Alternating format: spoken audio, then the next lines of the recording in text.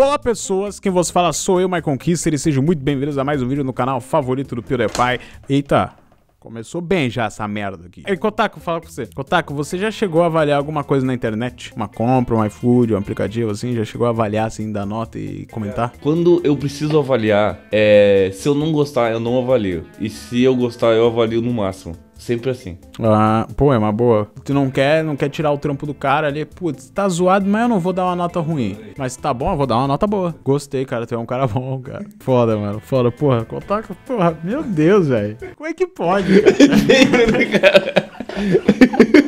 Mano, eu nunca fiz isso. Eu nunca, fiz- eu nunca dei nem estrela, mano. Eu nunca vi. Eu nunca vi muito motivo pra eu avaliar, porque já tem gente que, que avalia. Eu sou muito assim com as coisas. Eu não faço nada. Eu não faço nada que alguém já possa ter feito. Que alguém possa fazer, tá ligado? Eu, ah, tu eu- gosta de ser exclusivo, então. não, não é, não é isso, tá ligado? Tipo assim, eu não vou limpar minha bunda se alguém pode limpar pra mim. Como, por exemplo, o Afonso. O Afonso. O Afonso, Ah, pra quem não Afonso. sabe, o Afonso, pra quem não sabe, meu- é meu mordomo e amante também. Ama amante Meu também. mordomo e amante. Nós somos namorados e ele também é meu mordomo. Ele que traz as coisas pra mim aqui. E o Isso Afonso. é totalmente verdade. É verdade, é. O Afonso é meu mordomo. Eu tenho um mordomo. Não tenho uma mansão, mas tenho um mordomo. Já tô começando por aí, né? É assim que não é assim que fica rico, é aos pouquinhos. É, exatamente. P. Comecei a ganhar dinheiro, pô, mordomo. Depois eu tenho uma casa fora. e o Afonso me recomendou, aqui, o Afonso me recomendou um vídeo pra gente fazer. O Afonso me recomendou um vídeo pra gente ver avaliando avaliações é, na internet. O que achou? Ah, da... avaliar a avaliação. É, a gente não precisa avaliar, vamos ver. Tá bom. E o que tu achou da ideia do Afonso? O Afonso é um cara legal, cara. Eu, go- eu gosto dele. Não, o que tu achou da ideia dele do, do vídeo? Ah, tá. Não, ah, tá.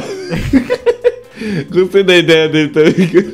Vaz, vaz. Pois bem, esse é o vídeo nós vamos- que nós vamos fazer hoje. Nós iremos ver algumas avaliações que estão pela internet. Ô, tu, viu, tu viu o meme que eles criaram agora?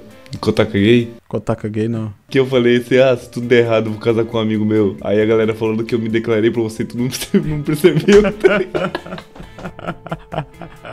É, galera, Kotaka Gay? Kotaka Gay? Galera, vou te contar, hein? A Fernandinha aqui, ó, postou na recomendação do iFood assim, ó. Ela, ela postou assim, ó. Venho cru. Venho. Veio cru, veio cru. Deu uma nota, nota 1 e falou, veio cru. Aí a resposta do delivery. A senhora pediu sashimi. Caralho, eu imaginei que seria isso, velho. Mas se, se fosse venho cru, seria mais engraçado. Venho cru. Venho cru. Eu venho cru aqui se quiser. Mano, isso me lembra uma vez que eu levei minha mãe comer sushi no restaurante. E minha mãe não gosta de sushi. Mas ela queria ver como é que era e tal. E a gente foi, ela achou horrível. Ela achou uma merda. Cada coisa que ela comia, ela fazia uma careta diferente. Ah, e, e como eu paguei caro, a, minha mãe levou pra casa o sushi e fritou pra comer frito. Ah, genial, velho. E eu não sei porquê, mas eu gosto muito de sushi, mano. Eu queria, eu queria ser muito anti-sushi. Sabe aqueles tiozão boomer que fala, oh, o negócio é churrasco, sushi é coisa de boiola. Eu queria ser assim, cara. Mas infelizmente eu gosto muito de sushi. É muito bom, velho. Aliás, eu queria falar, falar um negócio que eu lembrei agora. Eu queria pedir um negócio. É, ah, agora eu não vou mais pedir. Por agora eu não vou pedir. Ah, eu queria pedir aqui. Eu vou pedir. Se você tem uma empresa que vende, que, que constrói casas, eu tô criando uma casa. Ah, legal. Imagina pedir uma casa de patrocínio. Aí, Tô querendo uma casa. Pode me dar. se quiserem me dar uma casa, porque o Afonso tá enchendo saco aqui, porque eu só tenho uma cama, ele tá dormindo comigo. Foi assim que ele virou meu amante. Ah, é por causa disso que ele tá ruim.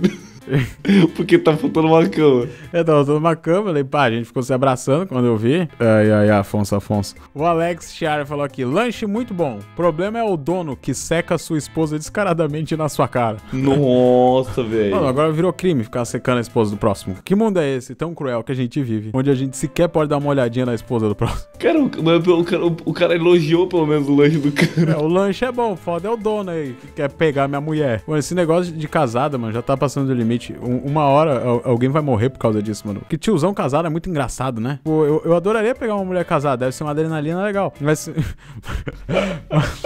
Mas se o marido dela descobre, ele vai querer me matar. Porque muito marido, por algum motivo, é assim. O cara vê a própria esposa como o sentido da vida dele funcionar. Eu, eu juro que eu não entendo porque um cara mata o outro por causa de ciúmes de mulher, tá ligado? Eu não entendo. Eu acho que eu não entendo porque eu não tenho honra, tá ligado? Eu sou um cara completamente desonrado. Eu sou um mercenário. O que me der dinheiro eu faço. Então, se eu fosse casar e a minha esposa me traísse, sabe sabe o que eu ia fazer? Eu ia fazer um vídeo falando que fui corno, o vídeo ia ser engraçado, ia viralizar, aí eu ia manter uma média de view ali, ia começar a fazer um show de stand-up sobre ex-mulher, em menos de um ano eu ia ser um novo Tirulipa, e é assim que funciona, cara, tem que pensar fora da caixa, sempre assim, igual que eu, é exatamente o que eu fiz, cara, minha vida tava uma merda, eu comecei a fazer vídeo sobre minha vida ser uma merda. Funcionou. É assim, cara, eu sou completamente desonra- desonrado, depende da honra também, né? Eu tenho honra sobre os meus valores cristãos. O nome do aplicativo é Perca Peso em 30 Dias. Aí o Del falou assim, ó. Não funciona. Baixei, esperei os 30 dias e não vi nenhuma diferença. Poderiam notificar quando o aplicativo começa a fazer efeito. o cara achou que tava no Black Mirror, tá ligado? Que era só instalar o aplicativo e em 30 dias o corpo dele ia ficar É magro. Matrix. Mas, mano, esses aplicativos de, de, de emagrecimento é muito bom, de verdade, mano. Eu tenho uns 5. eu tenho, eu tinha um, tá ligado, aqui, que, que você baixa, assina uma quantia por mês e, e nessa assinatura você contrata um personal trainer à distância. Aí você marca pra fazer exercício tipo às 7 da tarde, aí às 7 o celular começa a apitar e só para de apitar se você atender a, a chamada com o personal. Aí ele fica te olhando se exercitar. Mas depois de um tempo eu comecei a achar isso um pouco doentio, porque é meio estranho, um cara aleatório que tu nunca viu na vida, do nada aparecer no teu celular e falar assim: Olá, tudo bem? É, me coloca aí no cantinho e faz 20 agachamentos. aí, eu, aí eu só usei uma, uma vez, porque é muito moderno pra mim, tá ligado? Eu não Tu quero. usou? Usei, mano. Cara, se aparecesse um cara assim aleatório, assim, eu jamais ia fazer as coisas É, frente sim, dele. só apareceu o cara aí, eu falei, opa. Eu vi ali, eu só fiz uma vez o exercício, querendo me matar, tá ligado? E ele falou assim, vamos se ver semana que vem, né? Eu falei, opa, oh, com certeza vamos se ver pela semana que vem, cara. Que bizarro, velho. Vamos pro pro- próximo aqui, ó. Treino para altura. Aumente a sua altura, é o nome do, do, do aplicativo. Aí o cara falou assim: Eu pensei que isso iria aumentar o corpo todo. Aí eu baixei pra aumentar meu pênis, mas não funcionou. Agora eu tenho 3 metros de altura e um pênis de 5 centímetros. Obrigado. Cara, tu é frustrado com a tua altura, Kotaka? Não com a minha altura, mas com o tamanho das minhas pernas. É que minha altura é normal, mas as minhas pernas elas são curtas. Bota fé, cara. Eu, Elas ficam meio desproporcional. eu sou, eu, sou, eu sou um pouco frustrado com o meu corpo inteiro. Eu sou, eu sou uma pessoa mais estranha que eu já vi. Porque as pessoas me, me olham por vídeo e pensam que eu sou muito alto, mas eu sou uma mistura de, de hobbit com mini crack da Copa. porque eu tenho uma cabeça enorme, mas todo o meu corpo é pequeno. Tipo, olha o tamanho da minha mão perto da minha cara. E é por isso que eu fico zoando as outras pessoas, tá ligado? Porque eu tenho tanto, tanto, tanto defeitos que o meu mecanismo de defesa pra me sentir melhor é encontrar defeito nas pessoas e zoar elas. Que aí eu me sinto melhor por saber que não é só eu que tem defeito. Cara, eu acho muito engraçado que eu sou muito honesto comigo mesmo nessas paradas, tá ligado? Uma vez uma professora perguntou pra mim assim, por que, que eu chamava tanta atenção na sala? Aí eu falei, porque eu sou filho único, meus pais vivem trabalhando, então eu não tive muito amor e carinho na infância e o jeito que eu tenho pra ter esse afeto é chamar a atenção. Tu deu uma dessa. Sim, e ficou um silêncio na sala, tá ligado? Porque ninguém tem coragem de admitir esse tipo de coisa. e é por isso que as pessoas levam uma vida tão a sério, tá ligado? Porque, cara, elas não percebem que a origem dos problemas que você tem agora surgiu quando tu tinha 5, 6, 7 anos de idade. E não tem o que fazer, mano. Nossa, como eu cheguei nesse assunto, velho? Era sobre a altura, velho. E pinto, e pinto de 5 centímetros. Nada a ver, tá? Olá, a Vanessa falou aqui, ó. Isso aqui é muito bom. A Vanessa falou. A Vanessa deu nota 4 e falou assim: Estava com um cheiro estranho, mas estava gostosa. Isso aqui me lembra algumas pessoas também, cara. Ela tava falando do que exatamente, tá né, ligado? mano? Parece que essa, essa frase foi tirada de uma fanfic, tá ligado? Estava com um cheiro estranho, mas estava gostosa. Mas, cara, sobre a avaliação, se fosse comigo e eu pedisse uma comida, por exemplo, um açaí, e o açaí tá com gosto de açaí, mas tem cheiro de peixe, eu prefiro não comer. Eu também não. Porque se tem cheiro de peixe, vai saber por onde esse açaí andou, tá ligado? E falar em açaí, tu gosta de açaí, Kotaku? Gosto. Cara, açaí é outra parada que eu queria muito odiar, mas infelizmente eu gosto pra caralho também, cara. Eu sou muito modinha, né? Como sushi, como açaí, só falta dar a bundinha. Tem que deixar claro que é o açaí do sul, né? É o açaí tradicional. Não, tradicional não. Não, o tradicional é, muito do norte, né? Não, é- mas eu gosto normal. O tradicional é salgado, né? Não, não, é, não sei. É, Não ele, sei. não, ele come. é- é eles do- comem açaí com, tipo, no, no almoço, assim, ó, com um prato de arroz, sei lá. É? É, aqui é doce, é gelado. Lá não, lá é quente. Uma sopa, então? É, é, sei lá, é tipo fruta. Eu não sei, eu, eu- um dia eu vou lá pro, pro Nordeste, depois do coronavírus, eu vou lá e dou uma comidinha na, no açaí de vocês. Vocês querem que eu coma o açaizinho de vocês, né? Eu vou comer o açaí todinho de vocês.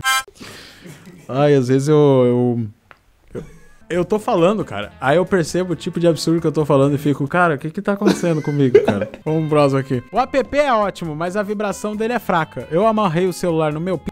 E, e até que foi legal, mas a vibração precisa ser mais intensa. O controle do Xbox One vibra mais que esse aplicativo, então melhore isso, por favor. Mano, existe aplicativo pra vibrador, mano? Cara, pra mim isso é, isso é meio novo. Mano, eu fiquei imaginando a situação do cara amarrando o celular no próprio o cara chegar nesse nível, ele deve ter já desistido da vida, né, mano? Há muito tempo. Porque não é possível, mano. Imagina a irmã dele, de 28 anos, chega na casa pro dia das mães e vai abrir a porta do, do irmão, que ela não vê há dois anos, porque ela foi morar em outra cidade com o marido dela. E quando ela abre a porta, tem um fucking celular amarrado no do próprio irmão, cara. Qual seria a reação dela? Tu imagina? Tu imagina o que que, que o que, que ela falaria pra, pra ele, Kotaka? Imagina o que, que ele falaria. O que, que ele falaria? Ele falaria que é um massageador.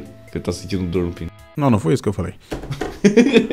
Entendeu minha piadinha? Eu sou humorista. É, mas enfim, cara, vamos finalizar esse vídeo aí. É, já somos, somos aí um vídeo, videozinho aí avaliando. Não tá avaliando nada, né? A gente tá vendo avaliações. E é este o vídeo aí. Espero que vocês tenham gostado da amizade. E, cara, te contar, hein? Ah, não vou tirar a luva, vou gravar outro vídeo. Sei lá, cara, não sei como finalizar esse vídeo aí, não, cara. Até mais. Se inscreve aí, tá, gente? Ficou meio triste o final, né? Do nada. Pareceu aquelas pessoas que acabaram de começar um canal, não sabem como começar e É nem assim, terminar. né? É, mas enfim, galera, se inscreve aí. E é isso aí, vídeo. Vai tu- tentar trazer vídeo toda semana, né? Às vezes eu não vou conseguir, mas eu vou tentar toda semana trazer vídeo. Aí o cara começa a trabalhar no YouTube e vê que não dá pra postar vídeo uma vez por semana. Que se tu postar uma vez por semana, tu nunca vai crescer no YouTube. Tem que postar todo dia nessa porra. Mas enfim, galera, valeu, muito obrigado, se inscreve.